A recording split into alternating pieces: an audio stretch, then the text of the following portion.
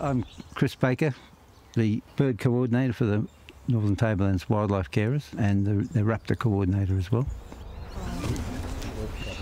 We're just about to go in and apply some ointment to the eye of a barn owl that's been in captivity for a month or two. It was caught on barbed wire and lost most of the feathers, or all the flight feathers on one wing. It's had an uh, intermittent eye problem that we've solved now. It just needs five days of ointment and anti-inflammatories to bring the eye back. If, if the eye goes, it's not usable, that means its survival rate drops remarkably.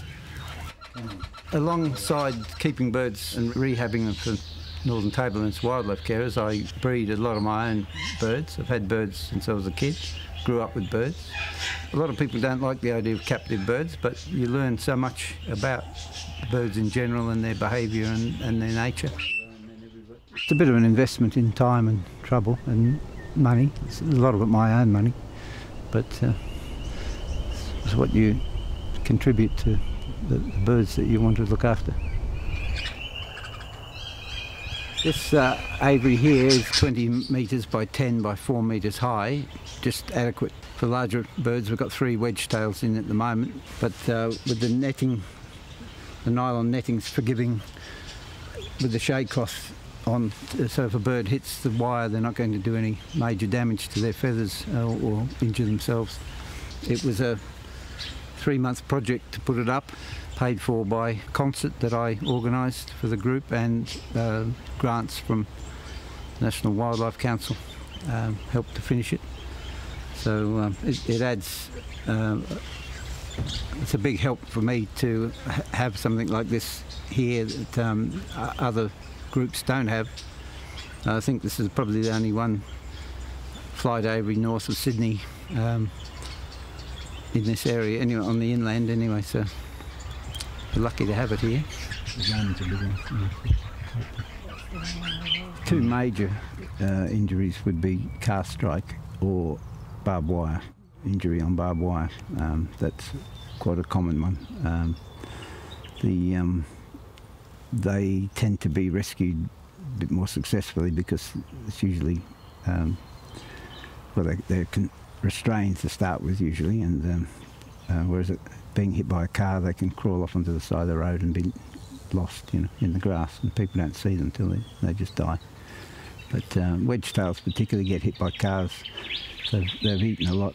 Um, they can't get off the ground quickly, and so they, um, they they just can't get above the car quick enough. And I think people underestimate just how heavy they are, especially when they're fed up with a huge amount of food. So.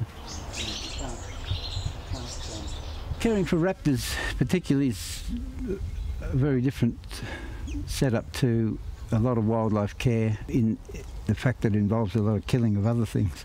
It's not for the squeamish. Uh, I keep mice, I keep doves, um, people give me roosters. Um, I, I, bring kangaroos off the, the road and um, dismember them.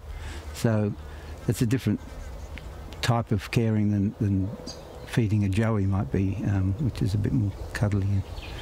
Um, and it's not something I enjoy, but yeah, it has to be done. The birds eat meat, and that's um, the price I have to pay for, for having the raptors. The National Park's code of practice for wildlife carers is fairly explicit. They have a flow chart of whether or not the, the, the animal need, needs to be euthanized or not. Um, and um, experience, my experience tells me a general idea of whether it's going to have some sort of a chance, but also we have to, uh, by law, take them to a vet within 24 hours, um, and they will then usually do x-rays. Raptors particularly need to be x-rayed because you, you, um, small differences, particularly in the more dynamic raptors like falcons and, and goshawks, um, they need to be in top condition to be to be released.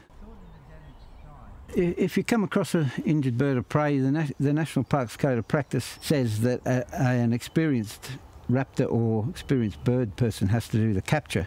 But we do get a lot of birds that the members of the public, or um, particularly farmers, um, will handle themselves and they seem to do it without being injured. The best thing is to call the either WIRES or us, um, and um, I, I will travel for, or we have people around the district, but I will travel for birds of prey. A, a wedge-tail can do a lot of damage, for instance, so people have to be really careful. I think landholders are, in my experience, are very uh, sympathetic to birds of prey. Most farmers like wedge-tails, unlike the old days when, when there were bounties. The, the only thing I could think of is that to, to carefully think the use of barbed wire if they can not use it uh, with electric fences uh, as an alternative or plain barb, uh, plain wire on the top. Um, even sometimes to wrap a wire um, with um, electric tape just so it becomes more visible. Um, because uh, we've had young wedge-tails that have been broken up on the wire, um, probably on their first flight, you know. And it's heartbreaking to see a young one just out of the nest